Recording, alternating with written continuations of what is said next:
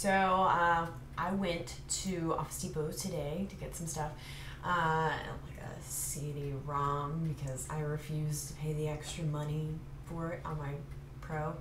Anyways, so um, I always tell people that I talk to about marketing one of the reasons, one of the things that I do, or what why I'm so passionate about marketing is because we're all consumers. Um, I get frustrated whenever I see companies that put out packaging or they put out products or they do you know produce apps or websites that aren't consumer friendly.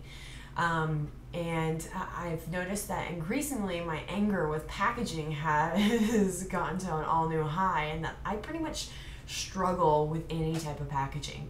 Um, I'm almost positive that the uh, foil on the top of my coffee creamer requires small, tiny hands to get it, you know, get the tin foil off the top. Um, but this is, uh, I wanted to, because I picked this up from Office Depot. Um, the Lexar Jump Drive 8 gig. It was $5.99 at Office Depot. I just want to say, does anybody remember whenever like 512 megabytes on a flash drive was like $80? Um, flashing back to my Circuit City days. Anyways, so I was doing something, uh, actually working on my lectures for class, and you know, this is going to be my Western Civ um, thumb drive I'm going to use.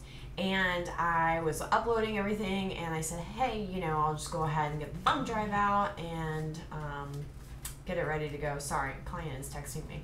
Um, and I went over to grab it, and all of a sudden I was like, um, okay. And you can see, like, you can see there are, there's pretty much no edges around.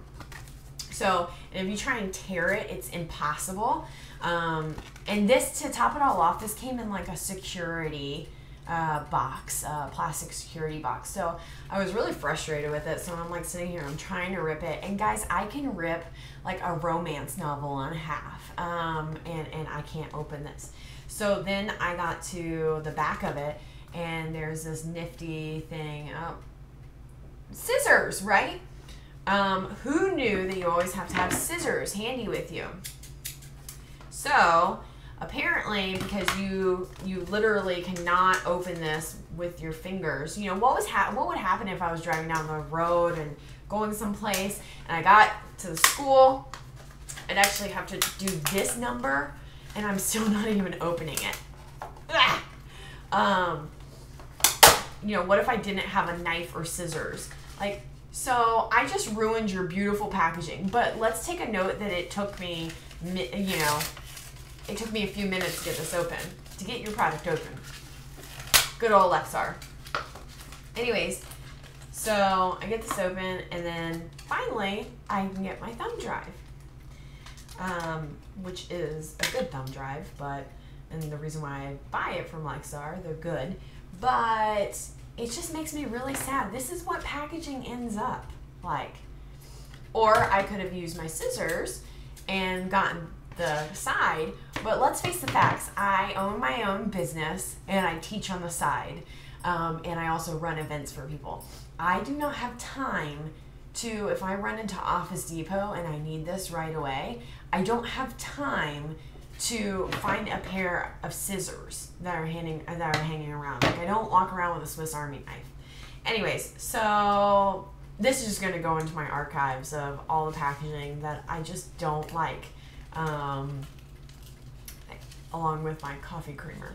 But I've now, you know, I laugh because it's like in advertising, you know, you don't you don't break a lockup, you don't break a branding uh, logo lockup.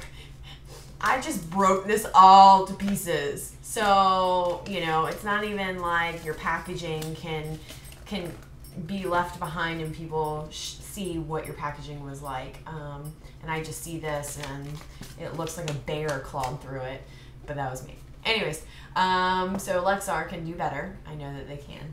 Uh, but yeah, so we're going to be doing this like packaging exploration. Anyways, have a good night. Thanks.